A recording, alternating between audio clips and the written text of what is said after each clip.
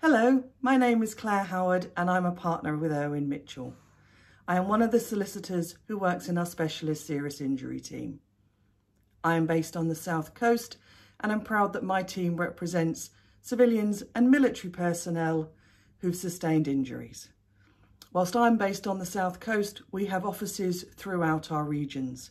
We act for individuals who've been injured at home or abroad.